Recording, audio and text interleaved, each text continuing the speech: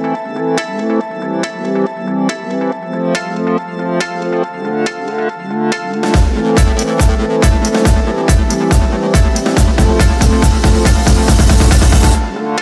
name is Russ Oberg, and I'm a drawer, painter, tattoo artist, um, printmaker. I actually was trying to think of an answer to this question before, and I was trying to think of single occasion that really set me on the path as an artist.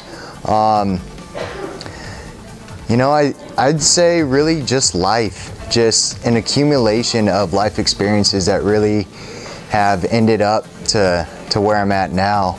Um, I would say that a life principle that I live by that's really helped me get to where I'm at is just whenever an opportunity rises, not letting, not passing it up, not letting it go by. And um, I'm gonna share something with you. Uh, it's kind of a, a theory or a principle of art and life that I live by that might be able to answer that question a little bit.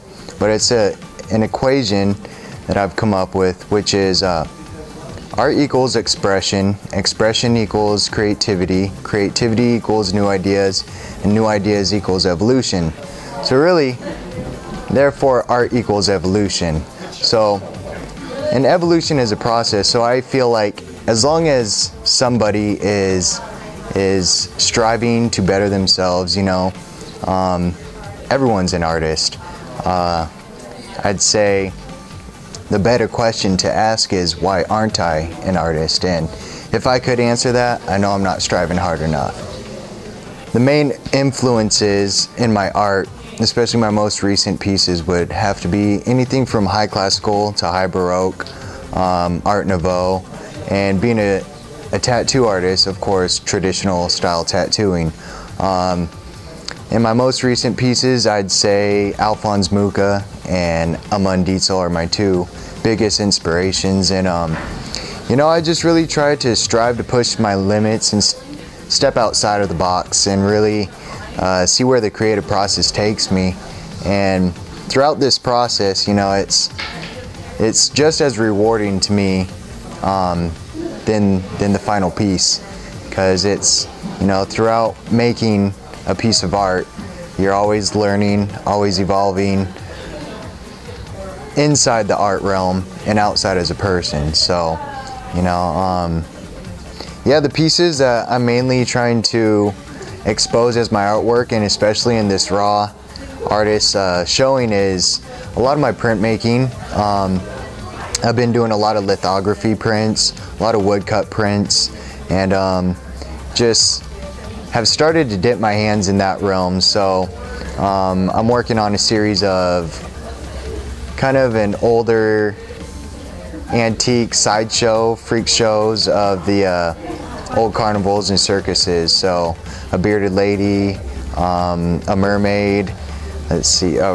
a, frog boy to a sword swallower, a contortionist, and um, just trying to come up with my own my own little take on those since they are kind of you know cliche or things that have done have been done before but um and then moving to my drawings is really just trying to mix that that art nouveau with the traditional uh, tattoo style and coming up with um, the female form really intrigues me and so I'm doing a series of of female portraits that have a little different take on them. So, um, also working on some pig skins uh, that, you know, a lot of tattoo artists apprentice, or apprentices for, for tattooing, they practice on pig skin because it's a lot like human skin. And um, I'm trying to take that and bring the tattoo world into the fine arts world because it's kind of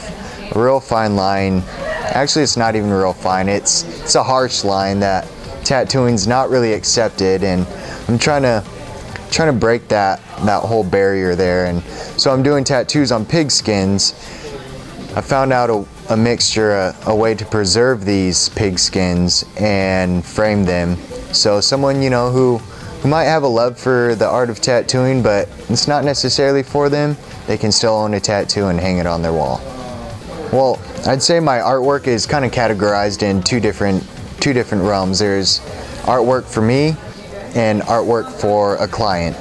And um, my favorite parts are really with the client, just building that intimate relationship between um, myself and, and them because with tattooing, it's such a permanent art form and there's a lot of trust that goes into that. And I just love taking their ideas and translating that into a tattooable image that you know they'll love and cherish for for the rest of their lives.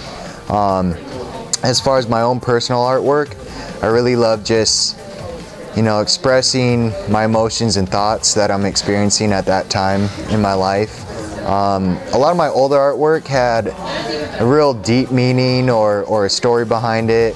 Um, as with a lot of my tattoos that I've gotten, uh, I wanted it to be, you know, when I got older and had grandkids, uh, my grandkids could st just stretch my skin instead of reading them their, their normal bedtime stories and ask me, what's this one about, G-Paw?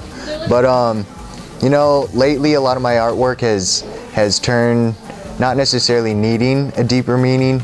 Um, I really love to really just, even though I have my own underlying expressions, um, really just evoke a feeling or an emotion out of my viewer and ultimately they can conjure up their own meaning in the end.